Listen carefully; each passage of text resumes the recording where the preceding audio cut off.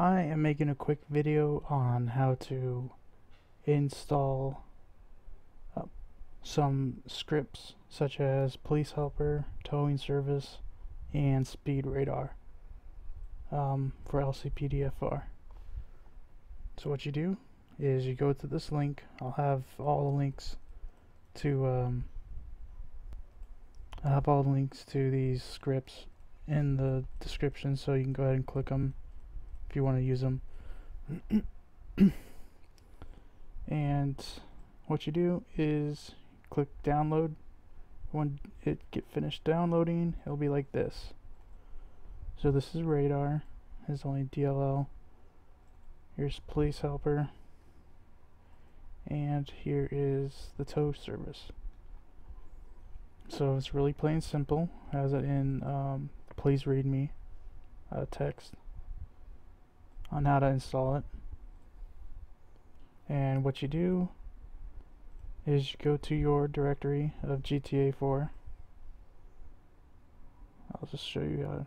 Mine is 86, Steam, Apps, Common, GTA, GTA. Now where you want to extract these files is into scripts. And the ones that you want to extract for tow service, it's going to be INI and DLL. So you just grab them and you just drop them in there. Same thing with police helper. So it's INI and DLL. Extract them into your script.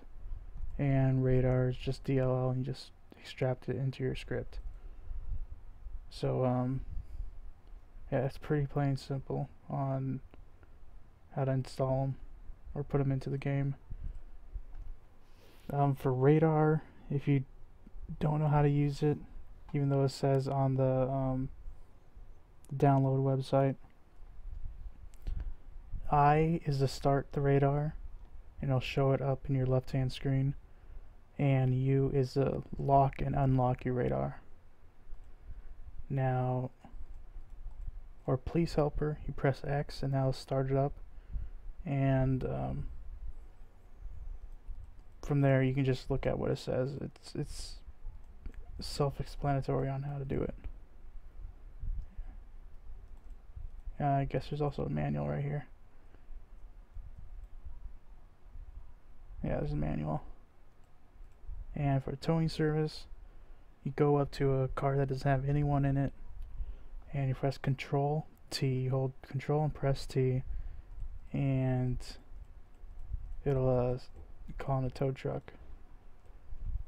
So that's how to install these mods. Or these scripts sorry. If you have any more questions you can go ahead and ask me. See you